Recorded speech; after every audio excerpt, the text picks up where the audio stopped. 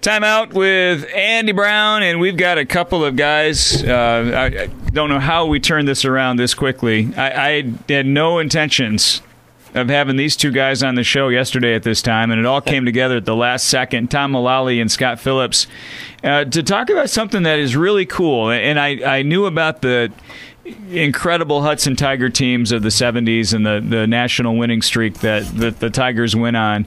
And I knew that Scott Phillips was part of the state title team at the Hornets.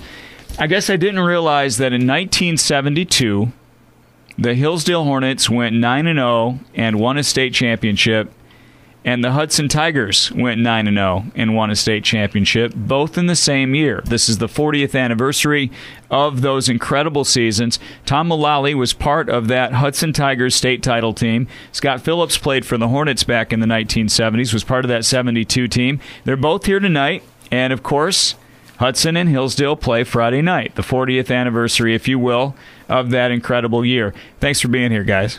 Hey, Welcome. anytime. Fun. Decent football for a couple of teams 18 miles away from each other. You both go undefeated. You both win a state championship. Uh, Tom, I'll start with you. Uh, what do you remember most about that 1972 season? Oh, there's so much to remember. I remember uh, after we won our final game, uh, beat Morenci. Uh, at Morenci, we were escorted back into town by the uh, city fire department and the police and one big party broke out in downtown Hudson, and uh, those those memories. You know, you climb off the bus, you're still in your uniform, and you're you're milling around with all your uh, classmates and friends. So that sticks out. Uh, the uh, the cohesiveness of the team. Uh, it was back then we were winning all the time. My uh, last game that year, it was our 44th straight win. Mm-hmm. So I wouldn't say it was old hat, but um, we were just kind of used to it, and uh, you know we didn't take anybody lightly, and we were just uh, had a mindset that we weren't going to lose. 42 to nothing, you defeat Morenci. That was the third consecutive shutout uh, during that 1972 season. You mentioned it's your 44th win overall for the Hudson Tigers. Did you know right after the game that you had secured that state championship, or did you have to wait a couple of days for it to be official? Uh, no, we knew because we uh-huh. were we were number one going in right on. in the poll. So uh, explain how it's different now from the way that they did a state title back then. Uh, well, correct me if I'm wrong, Scott, but yep. there was four classes: Class A, B, C, and D. Now divisions like there are now, and the uh, championships basically were selected by uh, Detroit News, Detroit Free Press, and the Associated Press, and we finished first in Class C in the Associated Press and the Detroit Free Press poll, just like the Hornets did. Uh, actually, uh, I believe, finished first in Class B in the uh, Detroit News poll that same year. Decent football right down here in southern Michigan that year, that's yes, for sure. Yes. Well, you mentioned uh, your season uh, finishing off with Morenci at 42 to nothing. A couple of couple of reasonably close games that year 16 to 3 the first week against Blissfield September 15th of 1972 you played Blissfield and beat them 16 to 3 and you played a 12 to 6 game against Grass Lake on October 13th uh, so you blew most of the teams out but you had a couple of challenges along the way uh, yeah, Blissfield game. Uh, I remember a little bit about that. I got hurt in that game a little bit, my shoulder, but um, the Grass Lake game, that was a, had a big build up because Grass Lake was uh, number one in Class D at that point, and they finished up finished the season eight and one. That was their only loss, and they actually finished second in Class D. So uh, they were a very good team in their own right. Who are some of the the players and coaches that people might remember uh, especially folks who were around uh, and following high school sports during that time. Your head coach was Tom Saylor. Tom Saylor is a legend. Okay, he won all of those games. And, and, who are some of the key guys on the team? Oh boy, yeah, I'm going to miss somebody here. So. oh, where's your yeah, roster at? Right? my, brother. Dan, I brought my picture, so my, yeah, pretty much my brother Dan. He was on the team, and uh, oh, our quarterback was uh, Brent Moore. We had Tom Ettinger, Greg McCaskey. Uh, there was Mick Curtis, Perry Cisco, Steve Hepker, Jim Wollett, um, Rick Sherman, um, Sherman, excuse me, um, Pat Luma, whose uh, younger brother Chris Luma is the coach of Hudson. That, that name sounds uh, familiar. Yeah. yeah. yeah. So uh, I'm Charlie Meredith. We quite a few of them we probably uh, missed a lot. So I'll probably be hearing from them. So. Coach Saylor he had all of these uh, incredible seasons, uh, that nationwide best winning streak with the Hudson Tigers. Tell tell our listeners a little bit about him. Uh, what do you think was the secret to Coach Saylor's success? Oh boy, um, he, a system. He built a system in uh, Hudson that was carried out from the uh, high school all the way down through the junior high. We all ran the same offense. We ran the same defense. Uh, I believe they run the same offense, uh, the T, uh, now. And I can watch, and they probably use the same, some of the same calls, uh, T4, T2, T6. It works. Um, cow. crossbuck. Um, that was part of it. His he was young. Uh, I believe he was fresh out of Eastern Michigan, and uh, could relate to the players. And you know, he was a good coach. He- He put the fear of God in us. Uh, you know, we had some practices that, uh, you know, if we lost, the practice was going to be worse, and that kind of spurred us on to, you know, we didn't want to lose. We want to go through a practice like that. But uh, it was the things he put in place, you know, over the years that uh, made us successful, and a lot of it's been carried on by Coach Luma over the last several years. Well, that was the, my next question. I mean, what Coach Luma has done at Hudson, they won a state championship in 2010. They were the runner up in 2009. They made it to the semifinals last year. This Hudson team, everybody thinks, well, uh, Milligan graduates and they'll finally come back to earth, and then they, they make it to the state semis again last year. Uh, this program has continued to flourish now with Coach Luma, and that's got to be really exciting for you guys that were part of the 1970s teams. Right. It's good to go watch and look at them, and you recognize a lot of things they're doing. And uh, you know, it's like why reinvent the wheel? Uh, they, you know, as long as it works and it's successful, and uh, they just pound the football and play uh, tough, hard-nosed football. Okay, now when all of this was going on, you're winning all these games, uh, you're winning a state championship. Did you even realize that Hillsdale was doing the same thing? Like, were you conscious of the season that they were having, or were you too focused on what you guys were doing? We were too focused. I didn't even know Hillsdale existed. you know, we, uh, What's Hillsdale, right? yeah. Well, you're in You know, high school, you know. You're in high school. Yeah. Hillsdale was someplace you went to a movie on the weekend. Right. You know, it. Uh, no, we. I, I really can't say if I remember. I knew what they were doing up there. It was kind of all came to the forefront after the fact that hey, they were undefeated and they won the uh, championship too. But at the time, you know, you guys were focused on what you were doing. Scott Phillips was part of that 1972 Hornet State Championship. They beat Jackson Northwest November 10th, 1972, 54 to zip. A definitive ending to your year to claim your state championship. What are some of your top memories from that year? Well, I think the final game actually was the incentive the week before when the Northwest band was playing at Hillsdale College. And we had our H jackets on, and some of those Northwest kids would come through the stands, and a couple of them said, We're going to come down here and show you Hicks how to play football. Well, I said, Okay, we'll see you next week. And Johnny Waters scored four touchdowns in the first half to break the state scoring record. And at halftime, it was 42 to nothing. And they just, you know, we just waved at them. That's about all we could do. He mentioned, uh, Tom mentioned that, you know, they were running the full house wing T. What were you guys running in the 1970s? You know, we did a little bit of everything. You have Johnny Waters and Billy Right. Waters in the backfield, and Jeff Heppenstall as quarterback. You, you can do anything, and we did everything. Um, Johnny was so fast; he just he ran everything outside, and turned the corner and was gone.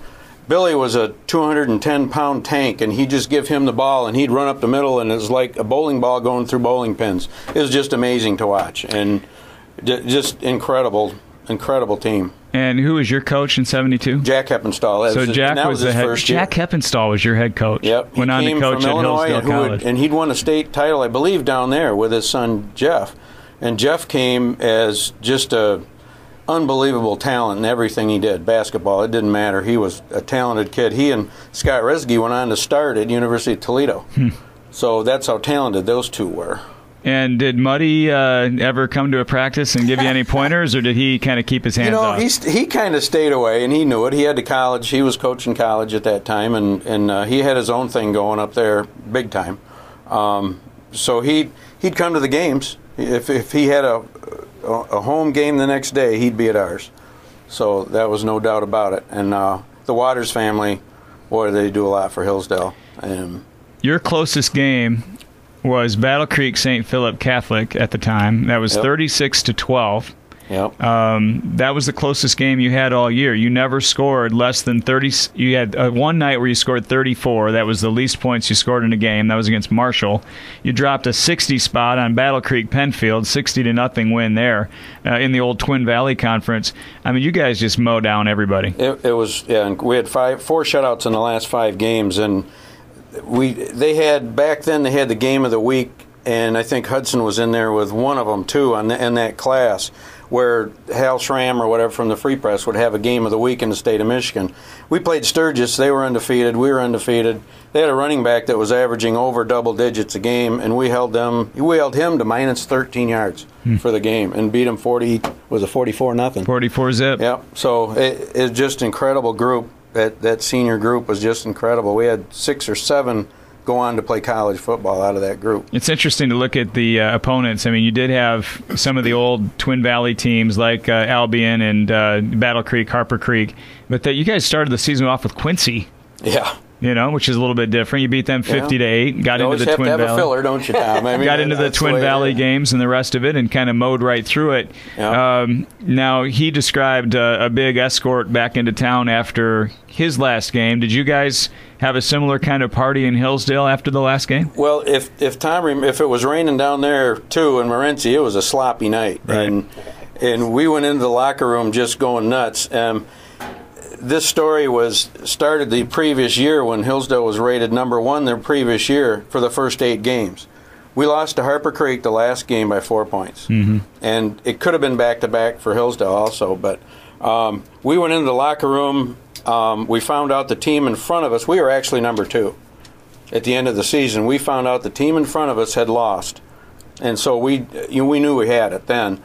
So the whole team went back out took Jeff Heppenstall, threw him in the biggest mud puddle we could find, and we had a mud ball out there. It was just, it was just fantastic. And I've never seen so many people at a football game at Hillsdale ever.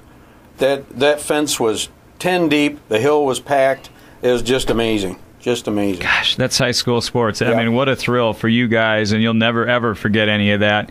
Uh, Tom Mullaly here played for the Hudson Tigers and won a state title in 1972. Scott Phillips, who broadcasts uh, the Hornet games for WCSR, uh, won a state championship in 1972.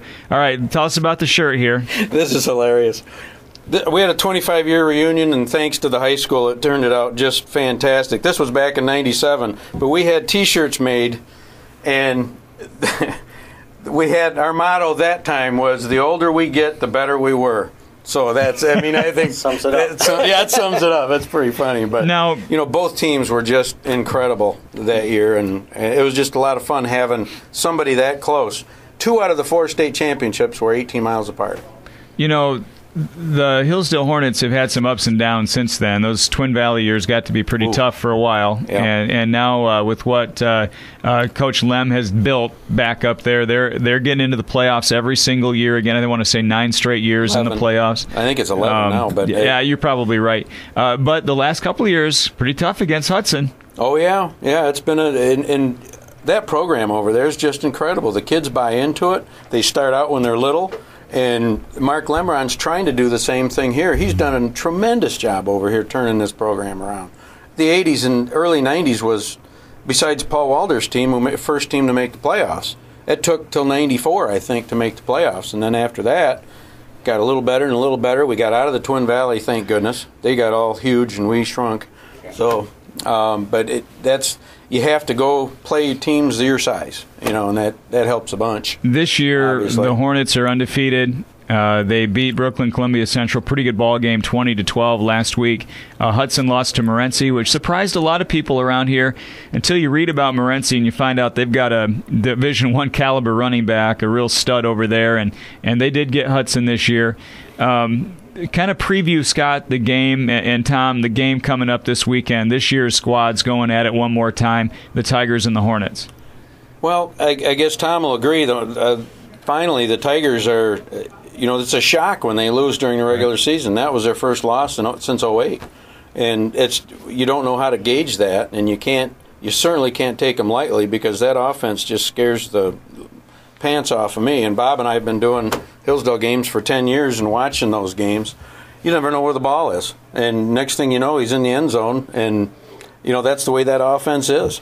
Well, they lost to Blissfield too, 32 to 13. So, uh, you know, Coach Luma is probably not. Uh, this isn't sitting real well with him right now at one and two, and uh, not too late to turn the season around. Oh no, it's definitely not too late. Uh, I have not seen either Hillsdale or Hudson play this year, and talking to both my brothers, who have seen Hudson, obviously, um, they say he says they're young. They just got a lot of young players, so uh, you know you can't. It's hard to stay at the top all the time. Mhm. You go through uh, rebuilding seasons, and just hopefully, you know, rebuilding season for Hudson and Hillsdale lately have been two lost seasons, and Right. then they're they climb back. And up. everybody's gunning for you, Andy. You know, you're at the top, and everybody's gunning for you. Nobody feels better right now than Morenci and Blissfield. You know, that's the way it is. But Tom, you went on to be the sports editor at the Hillsdale Daily News, and I, I know that you wrote about that 1972 season. What were some of the takeaways from from what you wrote about that year?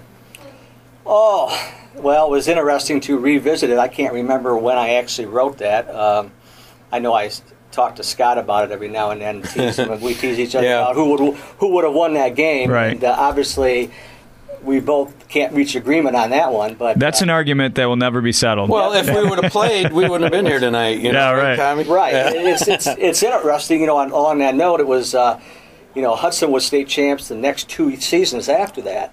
And it was 74 season that they actually got, Hillsdale got on the schedule. I came back from college and they played up in Hillsdale. And I had, to this day, have never seen as many people as were up at that game. And that's exciting. and I the whole really- town was was a buzz here in Hillsdale, and uh, you had a hard time finding a place to park in the stand. But uh, it's um, actually I don't remember too much about that article I wrote. it was so long ago, but uh, uh, We've done a few things since then. eh? yeah, pretty- yeah. well, when did you write it? I uh, can't remember. I think I well, I was sports editor from.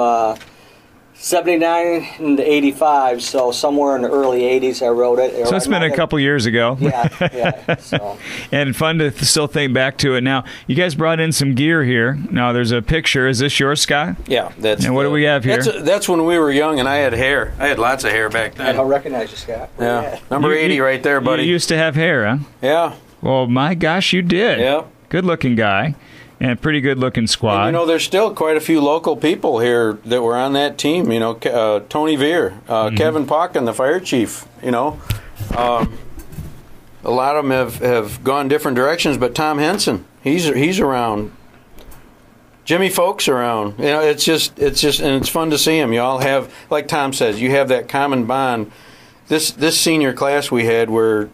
I don't think any any other senior class accomplished more sports wise than they did from baseball on down. It was just incredible fun, and actually, I thought we were coming here to talk tennis, but nah. just Hey, I'll talk. I'll talk tennis with you whenever you want, Scott. That's no problem. You know, th- those two state championships. Um, the one great thing about winning the last game that you play and winning a championship is no one can ever take that away from you. And I, I know it's a source of pride for both of you guys now, 40 years later, to have been part of that team and to experience that and and, and to to talk about it now and know that you know the guys playing now get a little taste of that too. They've got that in their legacy that they played for a, a team in Hillsdale or Hudson that has won that that have been to the top. A lot of schools around have never won a state championship. close, so- And, and both of your schools have done it, and that's got to be pretty cool. It is. It's, it's you know, and it's hard to put into words sometimes. And uh, you know, Hillsdale's experienced it uh, with football and baseball team re- Yeah. recently. cross Uh, country, and you know that's just everything. Is anytime you win a state title, I mean you're looking at every school in the state at your size, and that, that's pretty impressive. You know, you said something off the air before we jumped on uh, in ninety or two thousand seven. I want to say when Reading and Hillsdale both won a state championship in baseball. It's a similar, really a similar situation, isn't it? Yeah, it is, and you know to have two teams that close, you know, win state titles, that, that's impressive, and it says a lot for the area. Right. We have a lot of athletes. Excellent. Pittsburgh won a s- class uh, football championship a few years ago. Yep. Um, yeah. Hudson's wrestling team has been Oh, wrestling, you know, that's another thing champions over last, there. Yeah. what, two, three straight years. The I got- basketball team needs a little work, We'll get there, but well, you know, but when you've got state championships on both sides, wrestling and fo- football. That's just amazing. So there was never any talk in the 70s about having a little fun game, you know, just for fun between the two squads and getting together and playing. Well, we both, I think we both had an open date, and we just didn't do that. So, you know, we went uh, Jackson Northwest way. They were seven and one. You know, it was a big challenge for us, and Hudson had Morenci. And you know, it ended up like I said, we wouldn't be here if we played each other that year. So, but I mean, this is more even fun. even I'd after the here, season, yeah, yeah, right. even after the season, uh, you didn't play a touch game or anything No. like that. Or no, it's just all the talk's fun. now, if you guys were going to do that now, up Friday. Well, uh, if you guys were going to do that now, I suggest you stretch out a couple hours before the game starts. a couple days. yeah, a couple of weeks. Tom Mullaly and Scott Phillips, uh, awesome to reminisce. Uh, ball game seven o'clock kickoff. Yep. Is that here or there? It's at Hillsdale. At Hillsdale, Tailgate seven party o'clock. beforehand. So And what? When does that start? somewhere around five thirty, I think. Is it open to Hudson fans? I think it's open to everybody. That's what it's. Come for. one, come Yeah. all to the Come one, tailgate. come all, Yep. Hillsdale High School around 5:30 Saturday or Friday night, and then the ball game kicks off at seven. The Tigers and the Hornets, and a couple of guys that uh, do a great job representing those schools. Tom Mullaly and Scott Phillips. Thank you both for being here. Thanks.